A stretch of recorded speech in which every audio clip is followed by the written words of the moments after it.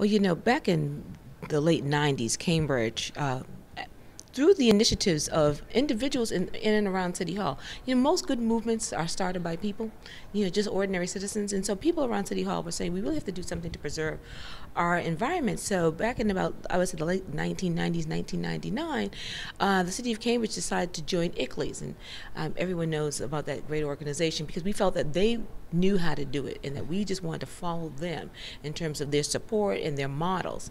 And shortly thereafter, I wanted to say about 2001, Cambridge um, appointed through our city manager 25 citizen, citizens to be our climate protection advisory committee and they wrote our Cambridge climate protection plan. And since then, we have done things like you know, little things like change the to light bulbs to really work at uh, getting out of our cars. Uh, one of the things that we do this is wonderful in Cambridge is we have walk ride days. It started by Jane Katz Christie, this one lady that does a whole bunch of stuff. But through her, every Friday, we're encouraged to walk to school or walk to work or a carpool or use mass tr- transportation. So um, those that's two easy ways. The other things that we have done is we just recently uh, renovated one of our buildings um, on Broadway Street, our, our, municipal building, which we use LEED gold standards mm-hmm. for that building. Since then, we use a LEED standard model, if not the LEED standard itself, in all our buildings. So we just renovated our War Memorial building, which is our um, athletic facility wonderful, extremely fuel efficient. We are now adding an addition to our library, extremely fuel efficient. Uh, we've just finished our police station, extraordinarily fuel efficient.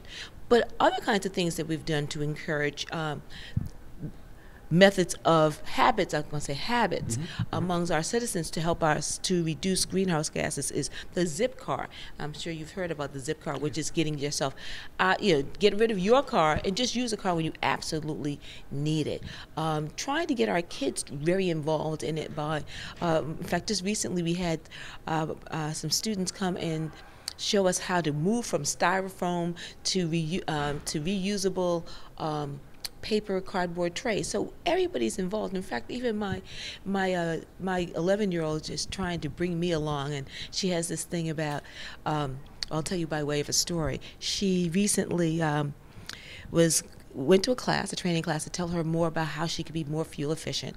And so, you know how when you get up in the morning and you start the percolator and you put your toast in the toaster. And so I did that and I walked over because, you know, in the morning we all multitask. When I came back, the coffee hadn't percolated, the toaster hadn't popped. It's because she hadn't plugged it. So I had to say to her, please don't unplug the refrigerator. But the thing, the idea is that we're all trying to get involved so that we are poised by 2010 to have re- reduced the, the, the um, Ga- the greenhouse gases. Now, we started in 1999. It's been a slow but steady uh, progression downward, and we just continue to do that. One of the things that we have that's really great, and we're, it's a competitive program that we're doing with um, the cities of Arlington and Medford. It's called the Energy Smackdown. I don't know if you've heard of this. No. But the Energy Smackdown is where families, we have 10 households per city, and their idea is how they can become more fuel efficient. And one family in Arlington, I, uh, not in Cambridge, yes, I was in Mass, has uh, reduced their energy consumption by half. Now, I, I don't know if I want to go visit them because their house is very, very cool. but this is just all the kinds of ways that we're trying to do things as individuals, but also as a city.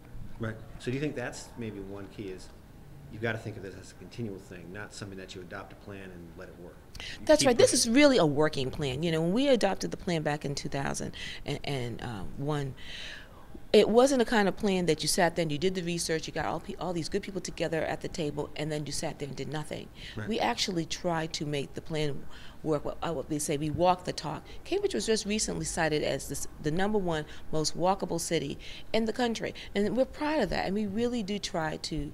Uh, like walk the talk. Yeah,